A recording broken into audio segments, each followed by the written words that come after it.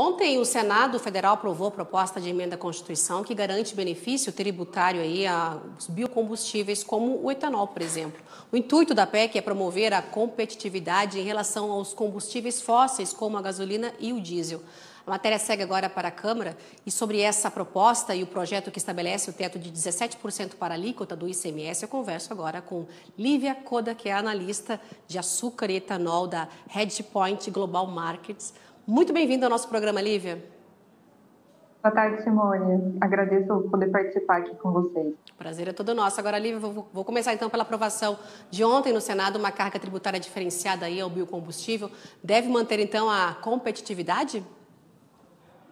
É, é um pouco complicado a gente falar sobre competitividade nesse cenário, porque não foi só essa PEC 15 que foi aprovada ontem, né? A gente teve a PLP 1822 também sendo aprovada, e ela trouxe a redução tributária tanto para os combustíveis fósseis quanto para o combustível, biocombustível, né, para o etanol. Então a gente teve uma redução é, da, das alíquotas de ICMS em cima da gasolina que antes né, eram taxadas em alguns estados até acima de 30% para um teto entre 17 e 18, a depender da, do modelo tributário adotado por cada estado. Então, tomando São Paulo, por exemplo, 18%, caiu de 25% para 18% na gasolina. E no caso do etanol, com essa nova PL 15, cairia também o ICMS acima do etanol para abaixo de 13,3% para aproximadamente 9,6%, é, né? 9,5% e alguma coisa, 9,6% aproximadamente. Então, o que, que, isso significa? Sim, o governo ele mostrou que ele não, não quer prejudicar o setor, né, o setor de etanol, o setor sucroalcooleiro aqui no, no país. Porém, quando a gente coloca na ponta do lápis, por você ter reduzido o piscofins né, e, é, e reduzido o ICMS da gasolina, a gente ainda tem uma perda de competitividade no final para o etanol. Então, na nossa estimativa, a gente teria na nossa estimativa, a gente teria uma queda né, para 70, uma queda não, né, um aumento da paridade bomba para 75,7% com essas medidas. E essa paridade bomba mais alta significa que o etanol estaria menos competitivo, pois a equivalência energética é 70%. Então, isso levaria o consumidor provavelmente a escolher colocar o, o, a gasolina, né, colocar o combustível fóssil ao invés do biocombustível. É, isso também se reflete nos preços internacionais do açúcar, porque a, o setor sucroenergético ele é conectado aqui no Brasil. Né? Nós somos o único país que tem essa flexibilidade de produção entre açúcar e, e etanol. E o etanol, nesse momento do ano, ele é dado como piso do preço do açúcar. Né? Ele perdendo competitividade, tendo uma redução no seu preço, você afeta o preço internacional do açúcar, que a gente já viu uma correção ao longo da semana passada e dessa semana.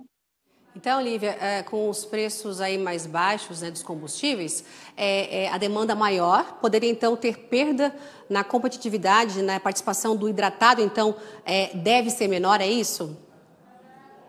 Sim, é, quando, a gente, quando a gente pensa né, nos preços, por exemplo, tá, a gente tinha um preço na bomba da gasolina de 6,86 em São Paulo e do etanol em 4,65 as medidas que o governo está aprovando, né, já foi aprovado e agora está indo para a sanção do presidente, é, poderiam cair para 5,60 na gasolina e em torno de 4,24 na bomba para o etanol, né? O que, que isso significa? Que a diferença entre gasolina e etanol mudou. A gente estava com uma paridade de 67% e a gente pode chegar numa paridade maior, 75%. Então, você teria uma demanda menor pelo hidratado e uma demanda maior pela gasolina. Na nossa gasolina C, a gente sabe que 27% é anidro, então pode ser que tenha uma, uma procura maior né, por esse produto, por esse etanol anidro, ao invés do hidratado. Lógico que devido às proporções, né? Tá certo. Agora, tem um prazo aí sinalizado ao setor né, de, de 20 anos. Como você avalia nesse tempo o combustível então renovável ele pode ser tão competitivo ou equivalente competitivo aí à gasolina, o que eliminaria, a partir desse prazo aí de 20 anos, a necessidade então de incentivos, Lívia?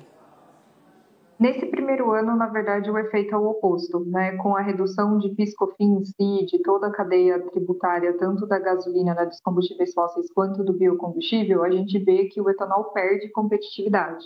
a partir de 2023, com a retomada das tributações federais, né, que a gente viu que foi aprovada a redução dos federais apenas para 2022, retornando e mantendo-se essa, essa a, PL, a PEC 15, né, que, que dispõe sobre essa competitividade, a gente poderia ter, de fato, uma vantagem do etanol nos próximos anos com relação à, à, gasolina quando se pensa em tributação. Então, sim, mas a gente tem que sempre manter, manter na, sempre ficar alerta que o mercado, o etanol, ele também depende do preço, de certa forma, do açúcar. Né? A gente tem uma briga por produto, já que no país, no Brasil, é, a fonte, o produto bruto que permite que a gente produza etanol em grande escala, né? E açúcar é a cana, a gente tem essa briga por produto.